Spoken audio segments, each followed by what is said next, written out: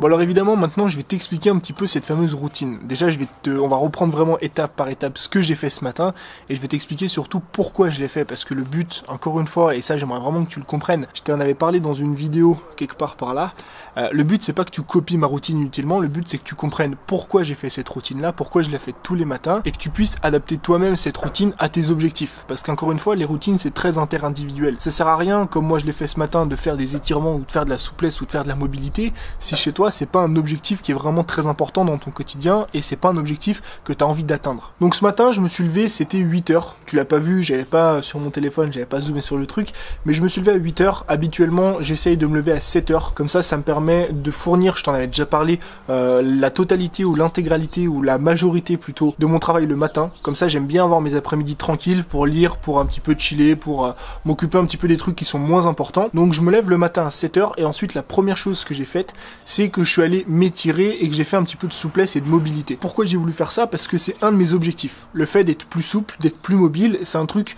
euh, que moi je me suis fixé comme objectif en tant que sportif. C'est que j'ai envie non seulement d'être musclé, j'ai envie d'être endurant, mais j'ai surtout envie d'être souple et mobile. Donc c'est pour ça que tous les matins, je fais un petit peu de souplesse un petit peu de mobilité. Même si toi, euh, t'as pas forcément envie d'être souple, t'as pas forcément envie d'être mobile et tu fais peut-être pas de sport, c'est un truc que tu peux intégrer à ton quotidien parce que ça va réveiller ton corps, ça va améliorer ta posture et ça va te permettre tous les jours ou plutôt tous les matins de te lever avec une petite pêche, de te lever avec une petite bonne humeur. Une fois que je me suis bien étiré, une fois que je me suis réveillé le corps, ce que je fais après, c'est que je vais me faire couler un café. Euh, je prends un stylo, un calepin et en fait je bois mon café tranquillement en prenant des notes. Le matin, j'essaye impérativement et c'est obligatoire, c'est la seule règle que j'ai le matin, de pas toucher mon téléphone, de pas toucher d'ordinateur, de pas voir d'écran, mis à part le réveil, jusqu'à 9h. Donc jusqu'à 8h30, 9h en fait. Pendant une heure, une heure et demie, j'essaye de ne pas toucher aux écrans. C'est pour ça que le matin, pour écrire et pour prendre des notes, je prends un calepin et un stylo. Donc ce que je fais tout simplement, c'est que pendant 15 minutes, à peu près, on va dire 10, 15, 20 minutes, je prends une feuille et je note mes idées de la journée, je prépare ma journée sur papier.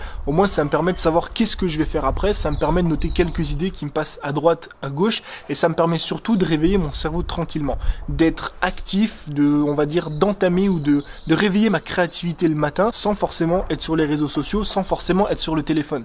Ça, c'est pareil, c'est un truc qui va dépendre de tes objectifs, mais que je te conseille quand même au quotidien, qui va te permettre vraiment d'améliorer ton réveil. C'est tout simplement d'éviter de toucher à ton téléphone le matin, de prendre une feuille et un stylo, et pourquoi pas de noter pendant 5-10 minutes les idées qui te passent par la tête, de programmer ta journée pour justement euh, être plus productif derrière.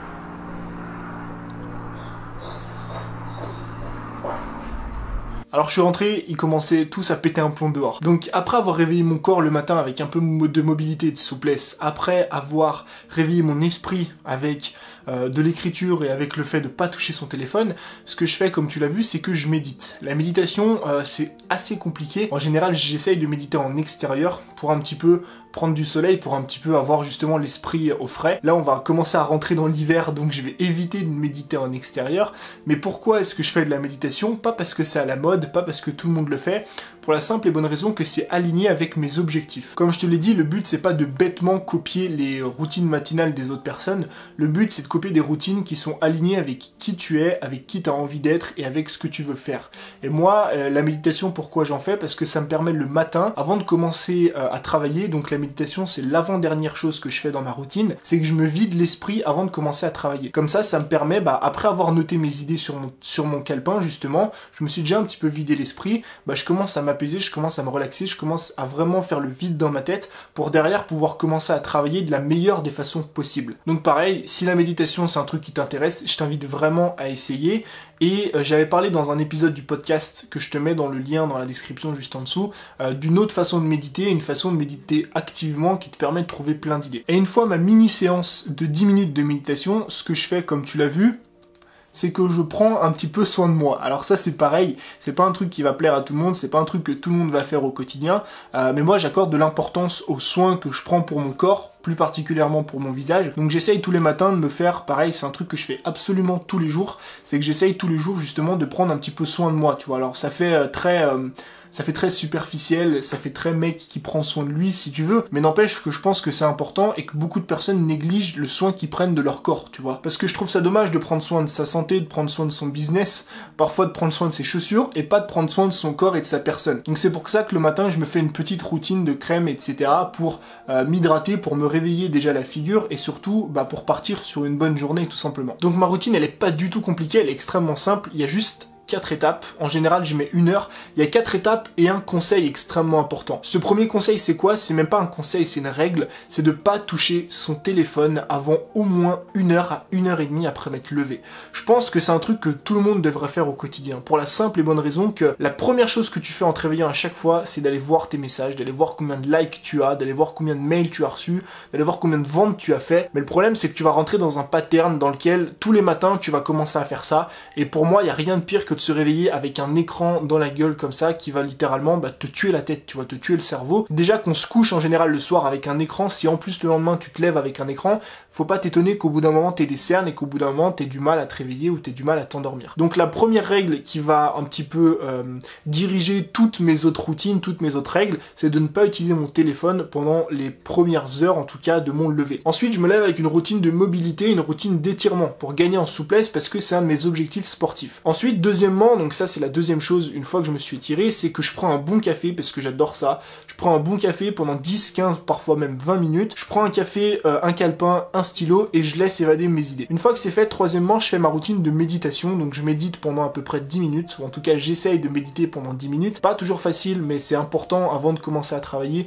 de se vider l'esprit. Et quatrièmement, je me fais une routine justement un petit peu de soin du visage pour non seulement réveiller mon visage, mais surtout, bah mine de rien, pour tout simplement en prendre soin parce que selon moi c'est quelque chose d'assez important. Donc ça c'est l'une de mes routines matinales, c'est pas forcément la routine que je vais faire absolument tous les jours. Parfois il y a des trucs qui vont changer, changer. des fois je vais écouter un podcast, des fois je vais faire de la lecture, euh, des fois je vais aller marcher. Encore une fois, toutes mes routines sont alignées avec qui je suis et avec mes objectifs. Donc je t'invite à les copier uniquement si tes objectifs sont alignés aux miens. Pourquoi est-ce que j'essaye d'avoir une, euh, une, routine matinale qui varie un petit peu?